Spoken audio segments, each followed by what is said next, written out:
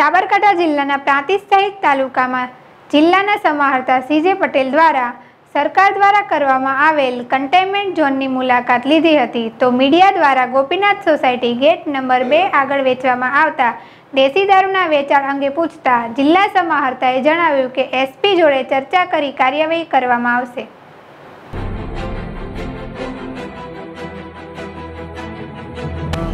મોટા સોસાયટીમાં ખુલ્લેઆમ દારૂ વેચાય છે.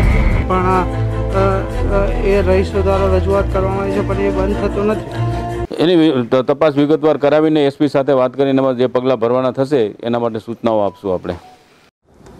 હાલ કોરોનાની મહામારીને લઈને દેશ સહિત વિદેશોમાં હજુ કોરોનાનું ગ્રહણ યથાવત છે. ત્યારે ગુજરાત સહિત સાબરકાંઠા જિલ્લામાં પણ કોરોનાનું ગ્રહણ લાગ્યું છે જેમાં સાબરકાંઠા જિલ્લામાં અત્યાર સુધીમાં કોરોના પોઝિટિવ કેસોનો આંક ત્રણસો અઠ્યાવીસ પહોંચ્યો છે. ત્યારે સાબરકાંઠા જિલ્લાના પ્રાંતિજ સહિત તાલુકામાં પણ કોરોનાનો કહેર યથાવત છે અને પ્રાંતિજ સહિત તાલુકામાં પણ કોરોના પોઝિટિવ કેસોમાં દિન પ્રતિદિન વધતા જતા કોરોનાના કેસોને લઈને ચિંતા પણ વધી છે. તો ગોપીનાથ સોસાયટીમાં રહેતા શર્મા રાજુભાઈ રમણલાલ ઉંમર વર્ષ પચાસ તેઓનું પણ ગાંધીનગર ખાતે સારવાર દરમિયાન મોત નીપજ્યું છે. તો પ્રાંતિજ એપીએમસીમાં લેબ ટેકનિશિયન તરીકે ફરજ બજાવતા મનોજકુમારનું પણ સારવાર દરમિયાન મોત નીપજ્યું છે. ત્યારે પ્રાંતિજના કન્ટેનમેન્ટ ઝોનની આજે જિલ્લા સમાહર્તા સીજે પટેલ પ્રાંતિજની જનતા સોસાયટી કન્ટેનમેન્ટ ઝોન અને પિલુદ્રા ખાતે આવેલ કન્ટેનમેન્ટ ઝોનની મુલાકાત લીધી હતી. તો પ્રાંતિજ સહિત તાલુકા જિલ્લાના લોકોને સમાહર્તા દ્વારા વગર કામે બહાર ન જવા અને બહાર નીકળો ત્યારે ફરજિયાત માસ્ક પહેરવા તથા ચેપ લાગે તેવી જગ્યાએ જવાનું ટાળો. શ્રાવણ માસમાં ઘરે રહીને પૂજા કરો, જિલ્લાના લોકોને જણાવ્યું હતું. તો Prantij Gopinath Society gate number બે, પ્રાંતિજ પોલીસ ચોકીની પાછળ. જાહેરમાં વેચાતા દેશુ દારૂના વેચાણ અંગે પૂછતા જિલ્લા સમાહર્તા સીજી પટેલે જણાવ્યું કે, આ અંગે હું એસપી જોડે ચર્ચા કરીશ અને લાગતા વરગતાઓ સાથે કાર્યવાહી કરવામાં આવશે તેવું જણાવ્યું હતું. તો પ્રાંતિજ તલોદના પ્રાંત અધિકારી સોનલબા પટેરિયા પ્રાંતિજ મામલતદાર HP Bhagoda, taluka health officer, R K Yadav, doctor ચંદ્રાબેન Parmar, નાયબ મામલતદાર દિગ્વિજયસિંહ, સર્કલ મામલતદાર ભારતભાઈ પુરોહિત, નગરપાલિકાના ચીફ ઓફિસર આકાશભાઈ પટેલ, પ્રાંતિજ મહિલા પીએસઆઈ એબી મિસ્ત્રી સહિતના અધિકારીઓ ઉપસ્થિત રહ્યા હતા. સંજય રાવલ જેડેશ ટીવી, પ્રાંતિજ.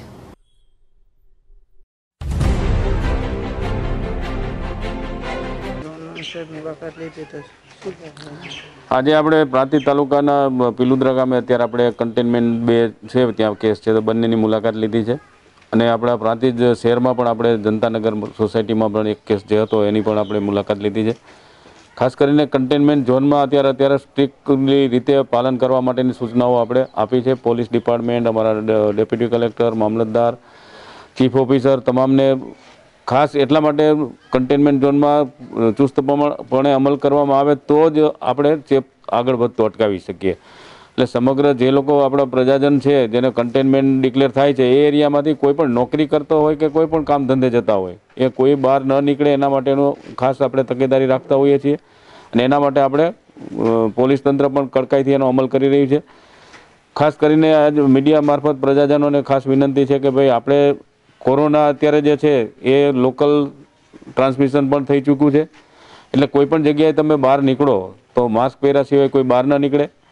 માસ્ક પણ સારી રીતે પહેરીને નીકળવું જોઈએ. અત્યારે ઘણીવાર જોવામાં આવે છે કે માસ્કનું પણ પહેરવાની સિસ્ટમ ઘણા લોકો આપણે જોઈએ તો આપણને એમ થાય કે આ રીતે માસ્ક થોડું પહેરાય.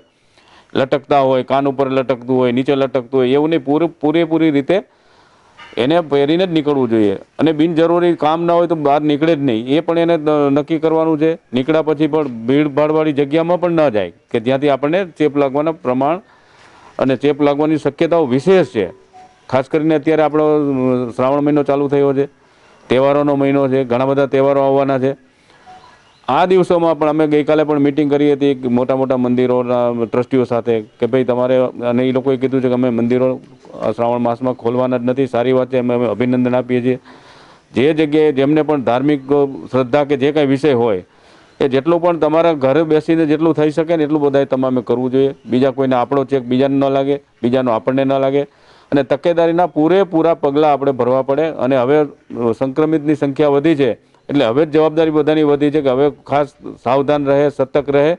અને બિલ જરૂરી બહાર કંઈ પણ ભીડભાડીઓ વાળી જગ્યાએ ન જાય. અને દુકાનદારોને પણ, વેપારીઓને પણ વિનંતી છે, શાકભાજીવાળા છે, કરિયાણાના વેપારી છે, દવાના દુકાનદારો છે, કે તમારી દુકાન ઉપર પણ જે આપણું સોશિયલ ડિસ્ટન્સિંગની આપણે વાત વારે વારે કરી રહ્યા છીએ, પૂરેપૂરું એનું પાલન થાય. લોકો પણ પોતાની જાતે હવે જાગૃત થવું જોઈએ. ભાઈ, કોઈ કે, પોલીસવાળા દંડ કરે છે, અત્યારે ઘણો બધો માસ્ક ન પહેરવાનો દંડની, અત્યારે કદાચ પચાસ લાખ ઉપર દંડ થઈ ગયો હમણાં જ.